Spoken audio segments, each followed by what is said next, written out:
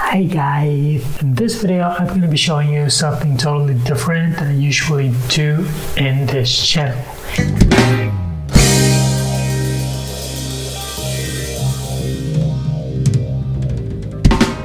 Some of you might notice I've been posting a lot of pictures of unique looking plants, so to speak, on my social media accounts. A lot of you guys have been asking me what they are or where I've got them or how do I take care of them or stuff like that. So I was thinking that maybe since I have a channel, you know, I have a voice, maybe I could also share them to you and make videos of them and hoping that maybe you'd learn to love them too.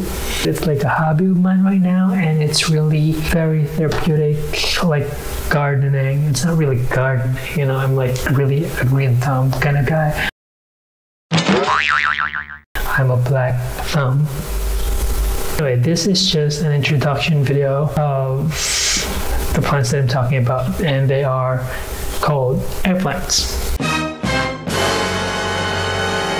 So a couple of months ago, I thought of buying plants for my apartment and stumbled upon this idea of collecting succulents or cactuses or cacti. Anyway, the, both terms are correct. So I headed straight to a nearby garden center to buy my first baby plant and as I got to the part of the store where they exhibit a wide variety of lovely succulents and beautiful cactuses, a group of plants displayed at a small spot suddenly caught my attention. So at first, I really had no idea what they were or if they were even real. So they, they actually they look so odd but spot on stunning. I remember picking up a Tillandsia caput and saying, Yep, this is my plant. Just a disclaimer. I'm still new to this kind of thing, and that's another thing when I'm why I wanted to share this with you. It's like I'm starting with this, and it's like we're starting at this hobby together. Wait, what? It's like I wanted to learn about these plants and about this hobby with you guys and I want to share it with you. I know that I'm not an expert about these things, about, about airplanes and stuff like that, but I wanted to learn it together with you guys and, you know, act dumb in front of the camera. You know, if you have questions or if there are experts of you out there, if there are experts, it would be a great help if you comment your expertise down below, or if I say something stupid about tillandsias, maybe you could comment down some pointers or some corrections below. That would help a lot, and it will help me and some other guys out there who wanted to learn more about the, these plants. Is plant? An air plant, also known as a tillandsia, is a member of a bromeliad family such as pineapples. But no, Mary, you cannot eat them. Air plants are native to Central and South America. There are approximately 600 species of air plants known, not to mention the hybrids. Oh my god, I'm gonna be making hybrids. Tillandsias can be found in a wide range of habitats, ranging from arid deserts and mountainous areas to warm and humid forests. I'm not really sure if these plants can live or thrive in the Philippines. I remember when I was still young, our neighbor used to have an air plant. Now that I think about it, it was actually a Spanish moss, which is also an air plant. And she called it a hanging plant because you literally just hang them and they just grow and she just sprays them every day or every other day. Kind of think of it right now, that was also an air plant.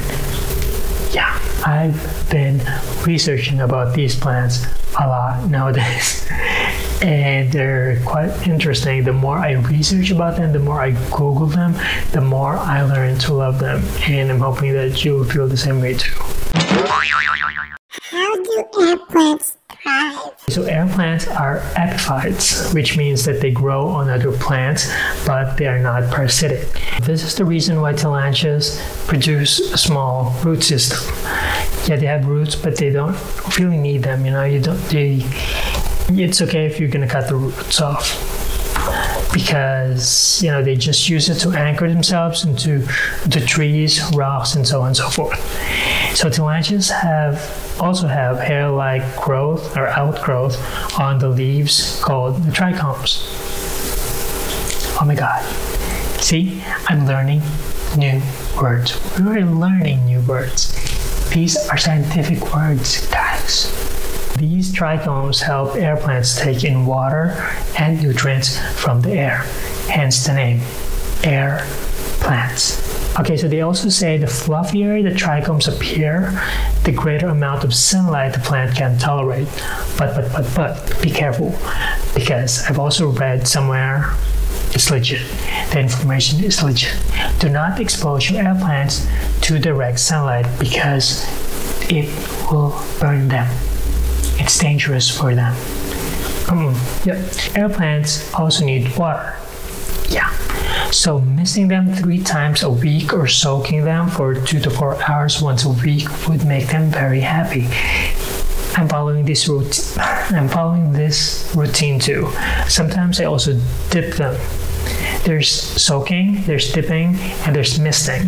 Well, I'm gonna discuss all about this in the next few videos. You know, we're gonna go slow. Plants produce flowers? Yes, air plants produce vibrant flowers, actually, but they only get to flower once in their lifetime, so it's kind of sad for you know those who love flowers. The length of the blooming cycle of air plants varies significantly between species. Like I mentioned earlier, there are almost 600 species of air plants out there, and some of them are easy bloomers with star with short-lived flowers, and some can take a very long time to reach blooming age, but their flowers uh, can last for several weeks, just like the Tillandsia xerographica. This is also called as the king of Tillandsias, Swebert, because this can grow very, very big. Its flower can last very, very long. I also, I actually have one of these, but you know, it's it's just a baby. So small. How do air plants reproduce? Tillandsias reproduce by standard means like any other ordinary plant, you know, through seed production, but they can also produce new plants around the parent plant. Yeah, these plants can produce baby plants, like literally. Like they call them pups. It's so cute. So after flowering, tillandsias produce the next generation of air plants as offsets. Or like I said, like pops, they call it pops or offshoots. Those are the terms. So in most species, these, these pops appear at the base of the parent plant. This is one of the things that I'm most excited of in taking care of these plants. I'm excited to see them flower because it's only once in their lifetime, and I'm excited for them to produce pops. Usually, each species or each plant can produce like three to four pups, and these baby air plants can either be left with the mother plant, which would eventually form an attractive clump. You call them clump. I'm I'm saying some you know terms here or you can also remove them. I mean, the pops, you can also remove them when they are one third the size of the mother tillandsia plant to grow on as a new air plant. So you cannot remove these baby plants when they're not one third of the mother plant because they will not survive. Because at that stage, they're still taking their nutrients, most of their nutrients from the mother plant. Sounds like a real baby. Another, another bittersweet story to air plants. From the time the air the time, from the time the air plant starts producing pops. Remember, they're going to produce flowers, and then after that, it'll be producing pups. And after that, it will also start to wither and eventually die. Oh no! It's beautiful. These plants have a beautiful life cycle. Is tillandsia a good choice for a house plant?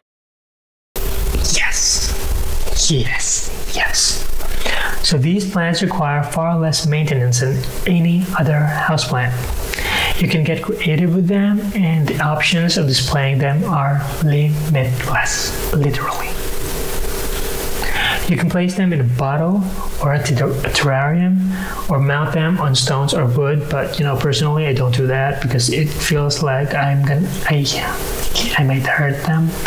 You know, they are living creatures after all, so I don't glue them. Some, you know, collectors or caretakers do that. They mount them on uh, a wood or a stone using a glue. There's a specific kind of glue that you use, but you know, I don't know if I'm crazy, but for me, I think that it hurts the plants. Or you can also hang them using strings, like I've also done that. I've been doing that. So, like this one, here's just one of the gazillion ways you can flaunt your tillandsias. Alien like jellyfish realness. Isn't that awesome? Hey guys, I can't wait to share more videos with you about these plants and how to take care of them and how to display them. You know, we'll be doing DIY arts and crafts kind of thing just for these plants, and I'll be showing you things that I've learned and things that I've found out about them, and we'll be learning about these together. Thank you very much for watching this episode. Did I just say episode? Oh, yeah, maybe I'm to be doing a series about this. For those who haven't subscribed yet, don't forget to hit that red button down below. Is it red in all devices? I'm not really sure. But anyway, like, and for you airplane newbies, for you guys who just discovered air plants, just stick right there. Maybe you learn to love them too. And for you guys who are experts in air plants, please share some knowledge down below. I really appreciate it. Thank you so much. See you on the next video. Bye.